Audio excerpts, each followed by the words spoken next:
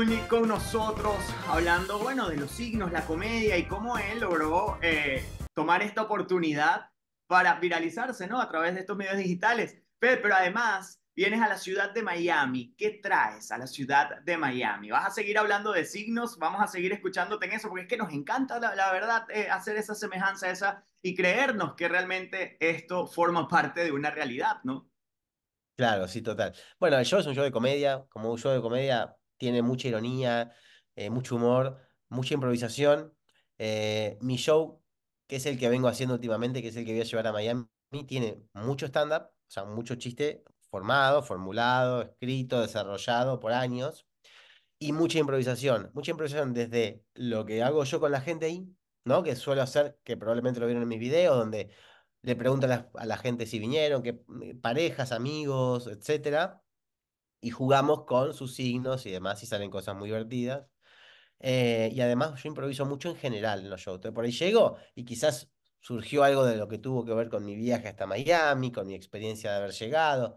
El show en sí tiene mucha estructura de stand-up improvisado, además de chistes e improvisación con la gente. Es un show muy fresco, muy dinámico, muy, eh, eh, con mucho ritmo, con mucha adrenalina, que va rápido, hay que estar atentos, ¿viste? Hay que venir con atención porque yo hablo muy rápido.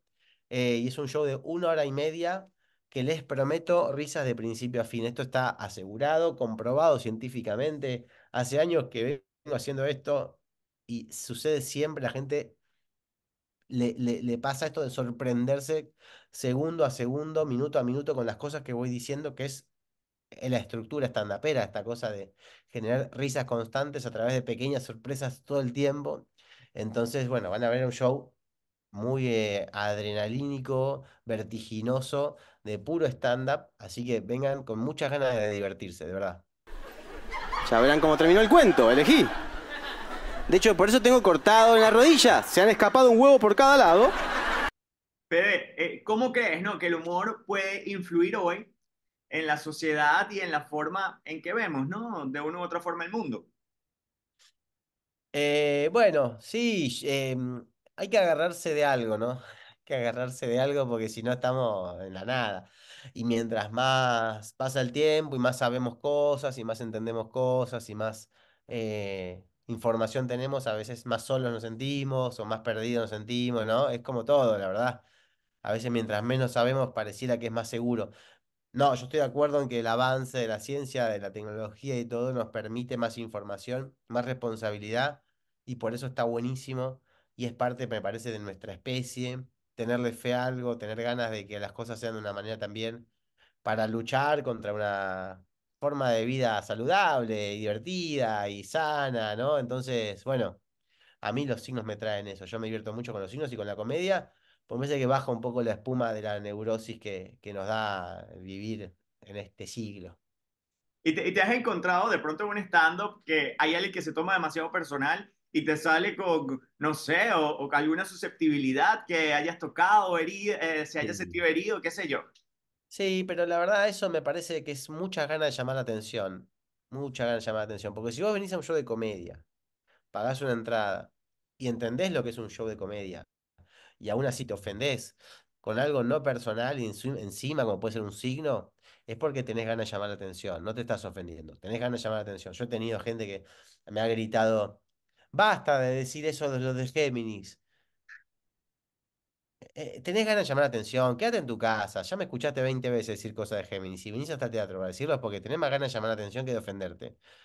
Ahora, si yo voy a tu casa, te toco la puerta y vos me decís, hola, ¿qué tal? Y yo te digo, quiero pasar, no te conozco, pero quiero pasar a tu casa, te estoy ofendiendo. Estoy rompiendo tus límites, estoy rompiendo tu privacidad. Vos venís al teatro, yo te estoy haciendo un chiste con buena onda y se nota, eh, son ganas de llamar la atención. Y bueno, de una u otra forma, o sea, están ahí por ti, ¿no? Porque lo han visto en redes sociales y porque sintieron alguna conexión eh, con tu stand-up. Así que eh, No es como que te ofendas porque subiste a una montaña rusa y te pareció que dio muchas vueltas. Hermano, ¿a qué viniste? ¿No? O sea, viniste a un show de stand-up y te hice un chiste, y sí, hermano, y sí. Es como ir a McDonald's y decir, escúchame, no me des una hamburguesa, ¿por qué me das una hamburguesa? Y bueno, andate a comer fideo a otro lado, no sé, eso es lo que viniste a buscar. Por eso digo, eh, son ganas de llamar la atención, son ganas de llamar la atención sí o sí. Indudablemente. Fede, estarás acá en la ciudad de Miami. Eh, háblame de las fechas. M Latino Producciones te trae hasta acá, hasta, hasta la ciudad. Eh, Sí. ¿Cómo van los preparativos? ¿Ya cuándo te tenemos acá? Bueno, sí, con Mi Latino Producciones estoy, yendo para allá, con Mónica, que ya nos conocemos, de cuando hicimos otras, otra- otras producciones, otros shows. Esta vez es la primera vez que voy a, a Miami a hacer función, así que estoy muy contento. Va a ser el 6 de julio en el EB Hotel, eh, así que muy contento. Las entradas las pueden conseguir, por supuesto, en las redes de Mi Latino Producciones, o en las redes de Fede, ar- arroba Fede Cirulnik en, en Instagram. Ahí pueden entrar, ver las tiqueteras, conseguir, ir al teatro también directamente. Eh, son pocas localidades, no quedan tantas, así que, y falta poquito, así que les recomiendo a los que, a los que vayan a venir que lo hagan ahora o esperen la próxima. Y bueno, y nada, muy, muy contento de ir para allá. ¿Por cuánto tiempo estás, te quedas acá en Miami? Yo creo que van a ser dos días, dos o tres días, no mucho más, no mucho más, porque es un show solo. Yo en casa tengo una bebé chiquita, así que muchos días en general no salgo de gira porque la extraño mucho, pero estaré por ahí disfrutando seguramente de shopping también, ya que estoy por allá. Escúchame, tanto, tanto, tanto hablan de ir a de compras a Miami que ya que estoy ahí ah, me voy a tener que traer algo. Indudablemente. Fede Cirulnik con nosotros, con Fede me toca despedir el programa de hoy, recordándoles a ustedes que pueden seguirnos por arroba BTV Miami, eh, BTV Digital, Rafa Mejías, por supuesto que Fede, para que se conecten con todos sus mensajes y, y su comedia, si aún no lo siguen. Y bueno, con él me despido hasta el programa de la próxima semana. Chao, Fede. Adiós, gracias.